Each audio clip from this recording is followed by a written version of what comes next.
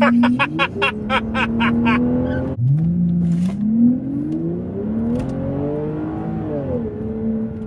and quickly up to 50 there. And let's see if we can get the tyres screeching a bit round here. Yeah. It's remarkably stable, this car. It's unbelievable. Oh, and we're sideways again. Oh my goodness, this is absolutely brilliant fun. I cannot believe this. Right.